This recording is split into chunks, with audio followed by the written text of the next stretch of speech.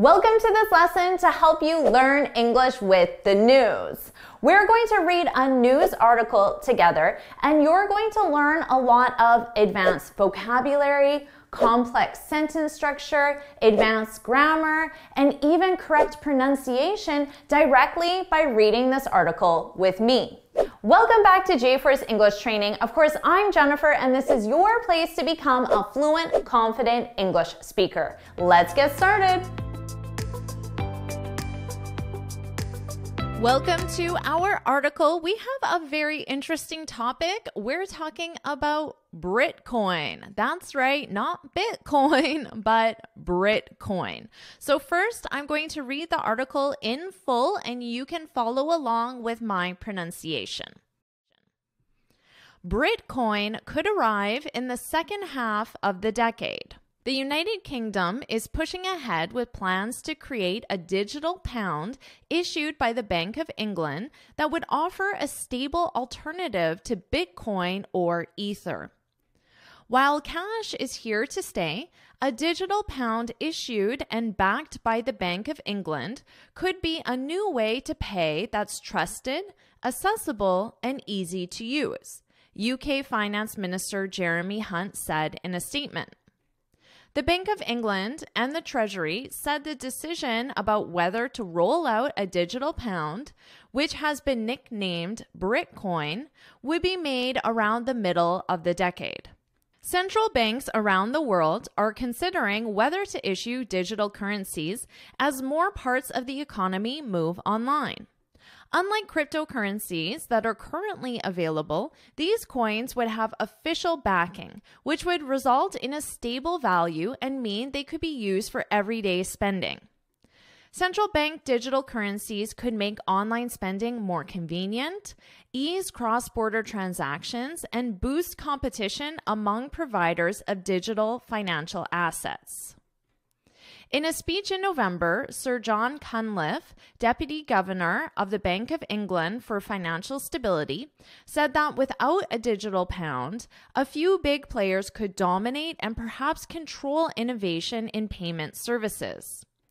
But major details of digital currency still need to be hashed out. Critics worry that the rollout by central banks could cause enormous disruption if people race to swap cash for a digital alternative. Another fear is privacy, since digital currencies would give governments new insights into how people are spending their money. Now let's look at the article in more detail and I'll explain some advanced vocabulary and grammar topics. So let's start with our headline. Britcoin could arrive in the second half of the decade. So the second half of the decade that would be 2025 or after. So not too long from now we could have Britcoin. The United Kingdom is pushing ahead with plans. So, to push ahead with something, usually plans or a project or a proposal, is another way of just saying advancing with plans, going ahead with plans, proceeding with. So many different ways you could say this. All of them are honestly quite common. One I hear a lot is going ahead with. I probably hear this more than pushing ahead with. But then we also have is proceeding with so our preposition would be with, proceeding with. You don't say proceeding ahead with. In this case, it's just proceeding with. And then a plan, a policy, a change, something like that. So let me give you an example. You could say, my company is pushing ahead with the conference. So notice here, I used a noun. You can push ahead with something specific. So it means they're proceeding with the conference. They're going to have the conference and they're going to create more plans for it.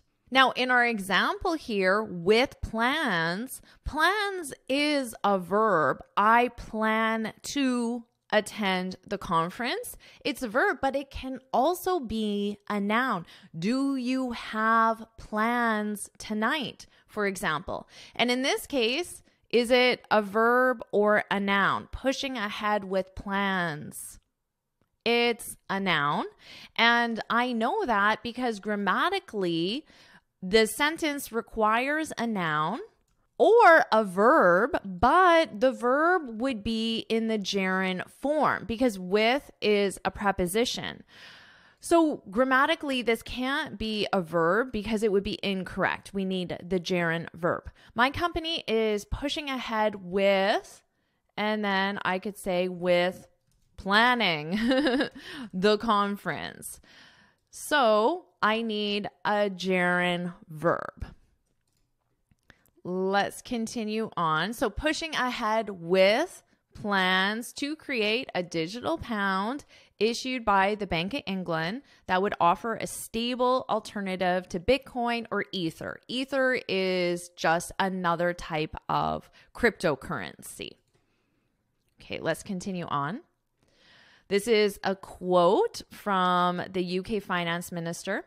While cash is here to stay, so if something is here to stay, I think this is probably obvious, but it means it's it's not going to disappear anytime soon. I could say working from home is here to stay. At the beginning of the pandemic, everybody thought that working from home was going to be temporary, but now it's here to stay. Maybe not 100% of the time, but it's definitely changed the way that people work. So it's a great expression to have in your vocabulary. I think you'll use it a lot. And notice you need the verb to be with the expression, to be here to stay. While cash is here to stay, a digital pound issued and backed by the Bank of England. To be backed by just means that the Bank of England supports it. The Bank of England is responsible for it. That's backed by. Backed by the Bank of England could be a new way to pay that's trusted and is trusted because it's backed by the Bank of England. Trusted, accessible. Accessible means it's available to many, many, many people. So widely available and easy to use. UK Finance Minister said in a statement. The Bank of England and the Treasury said the decision about whether to roll out a digital pound to roll out, this is a phrasal verb. We have our verb and a preposition, and this is when you introduce a, introduce something. When you make something available. So to roll out, to make something available. And that something is usually a service or a product. So in this case, the digital pound, that would be a product. And you're making it available, you're introducing it for the first time. You're making it available for the first time, which is where the introduce it comes from. Let me give you another example. This is commonly used by the government when they introduce a new policy or regulation. You could say they rolled out. So our government just rolled out a new tax incentive. They introduced it for the first time. And roll, of course, is our verb. So you need to conjugate that verb. Here it's in the past simple. Okay, which has been nicknamed Britcoin. So this isn't the official name. I know that because they use a nickname. A nickname is an alternative name. So my name is Jennifer. My family calls me Jenny. so that could be my nickname is Jenny, but it's not my official name. So, an alternative name, an alternative name for someone or something. And we use this a lot with people we have a close relationship with, your family, your significant other, your friends. You probably call them a nickname more than their real name. So, what's your nickname? Do you have a nickname? Share in the comments below. And just so you know, I don't actually like the name Jenny. I tolerate my family calling me Jenny, but I actually don't like that name. So, don't call me it. All right, let's continue on, which has been nicknamed Britcoin. So, again, not the official name, but it's possible they do take that as the official name would be made around the middle of the decade. Central banks around the world are considering whether to issue digital currencies as more parts of the economy move online. All right. So right now they're just considering it. They're deciding if we should do it. So of course this is an excellent time to use our present continuous because it's taking place right now. Right now they're considering whether to do this. So maybe your country is having the same conversation as well about having a digital currency that's going to be backed by your government or your central bank. Remember, backed by is supported by. Unlike cryptocurrencies that are currently available, these coins would have official backing. We already talked about that to be backed by, to have official backing which would result in a stable value and mean they could be used for everyday spending. Let's talk about starting a sentence with unlike because this is a great sentence structure to have in your vocabulary. I could say, unlike the United States, Canada has free healthcare. So, this is a way of saying Canada has free health care. Okay, so that part does not change, but the US doesn't. So these two sentences mean the same thing. Now, I could reverse this and I could say the US doesn't have free healthcare but Canada does. I could also say that just as an alternative. They mean the exact same thing. But I like starting with unlike because notice it's the most concise, which means the shortest out of all options. So when you use this, you can use less words but communicate the exact same message, which is always preferred.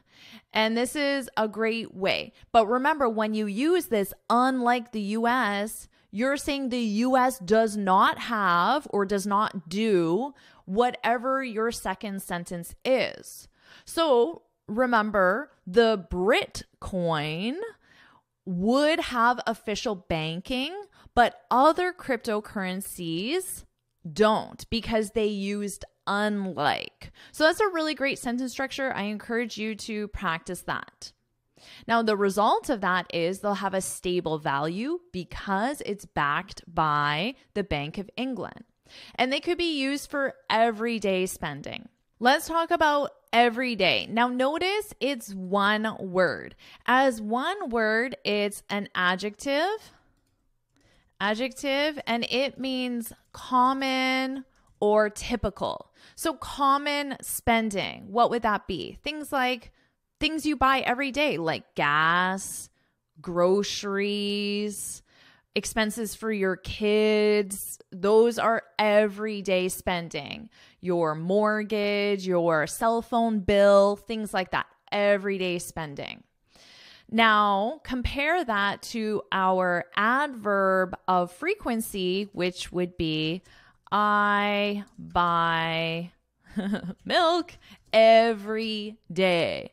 Every day. This, as an adverb of frequency, means seven days a week, right? Every day. That's a lot of milk. I don't know what you're doing with all that milk. I buy milk every day Milk is an everyday purchase. So, here in this case, because it's one word, I know that this is the adjective, it describes purchase, and it just means typical or common. Let's continue on. Central bank digital currencies could make online spending more convenient, ease cross border transactions. So, cross border would be from Canada to the US, US to Mexico, Mexico to France. That's cross border.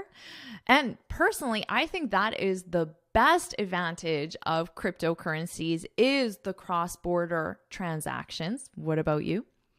And boost competition. Boost is another way of saying increase. It's a very common way of saying increase. Increase competition among providers of digital financial assets. So these are all the advantages of cryptocurrencies, digital currencies. Let's continue on. In a speech in November, Sir John Cunliffe, Deputy Governor of the Bank of England for Financial Stability, said that without a digital pound, a few big players could dominate and perhaps control innovation in payment services. So, this just talks about his point here about having competition. And remember, increasing competition, that's one of the benefits of having a bank digital currency, a digital currency backed by the bank.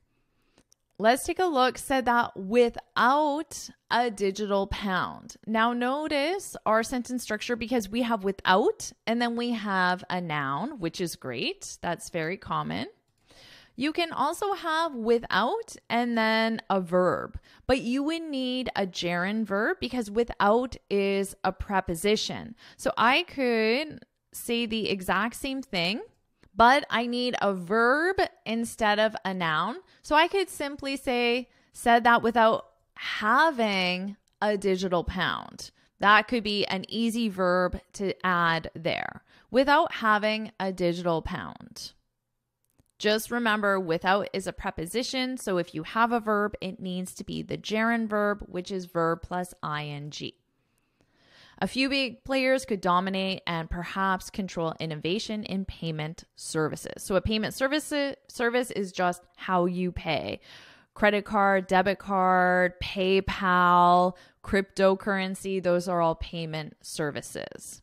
And our last paragraph but major details of digital currencies still need to be hashed out. This is a great phrasal verb. When you hash something out, you discuss the details of the plan. So let's say we want to have a a conference, okay? But we need to hash it out. When is it going to take place? Who are the speakers going to be?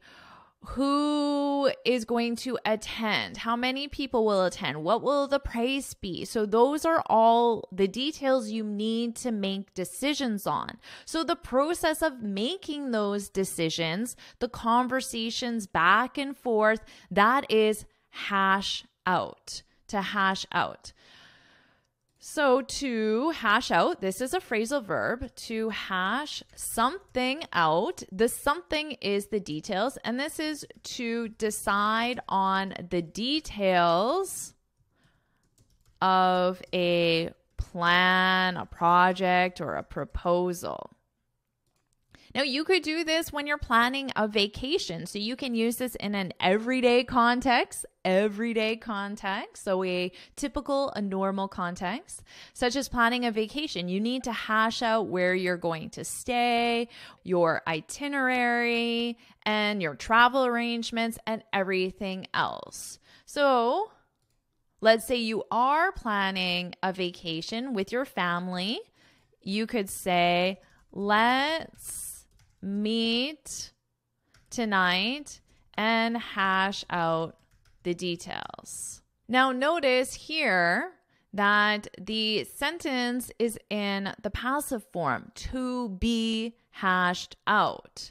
So let's use an example and combine it with a, another phrasal verb we learned to roll out, which means to introduce to make available for the first time. So the government is rolling out a new tax incentive, but the specific details need to be hashed out.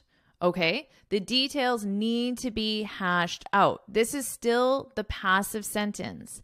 If it were an active sentence, it would be the government is hashing out the details. So let me write that.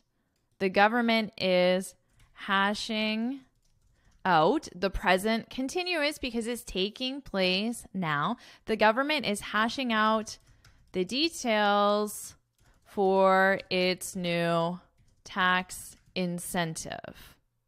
Now, hopefully, you would hash out the details before you roll something out, but this is just an example to use both of the phrasal verbs in one sentence. Okay, critics, so people who don't think there should be a digital currency backed by the central bank, the Bitcoin, the critics worry that their rollout. So notice here, it's the same meaning, but it's a noun. And I know it's a noun because it's there for one. You possess something. You don't possess a verb. So I have my possessive. And the spelling as well. It's one word. So I know this is a noun. And it's similar to saying their introduction, how I could use introduce as a verb or a noun. So this is a noun. Their rollout by central banks could cause enormous disruption if people race to swap cash for digital alternatives, for a digital alternative. Okay, to swap. So I have cash, and this is the cryptocurrency.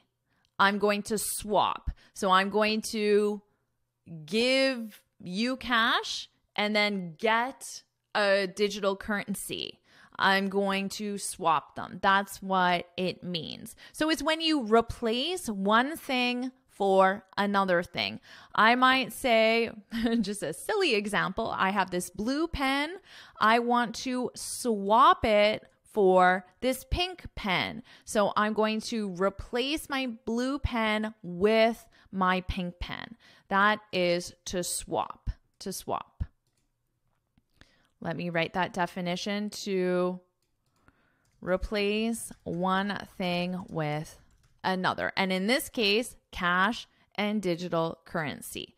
Now, to race, it means that just, well, you know what a race is. You go really fast, right?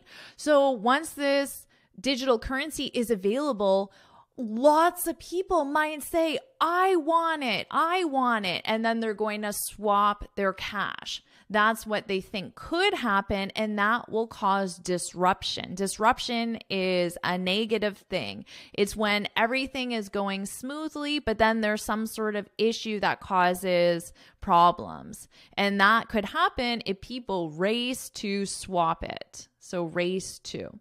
This means to move very quickly. Move quickly to achieve something. Now, you might say just to use race to, the government is racing to roll out their new tax incentive. So maybe they're trying to do this very, very quickly. Maybe they have a deadline. They publicly announce that it has to be done by the end of the week. So now they're racing to do it. They're moving very quickly to accomplish it, to achieve it. Another fear is privacy since digital currencies would give governments new insights into how people are spending their money. So, this talked about some of the potential drawbacks, the negatives of the cryptocurrency. And that is the end of our article. So, what do you think? If there was a government backed cryptocurrency, digital currency available in your city, your country, would you be interested in it? I think I definitely would. And mainly for the reason of cross border transactions, I think it would make it so much easier. So feel free to share your comments on the topic as well. Amazing job with this lesson. Now, you can look in the description or look in the comment section below to find the link where you can download the free lesson PDF that summarizes everything we learned in this lesson. And if you found this lesson helpful, please hit the like button, share it with your friends, and of course, subscribe. And before you go, make sure you head on over to my website, jforrestenglish.com, and download your free speaking guide. In this guide, I share six tips on how to help you speak English fluently and confidently. And until next time, happy studying!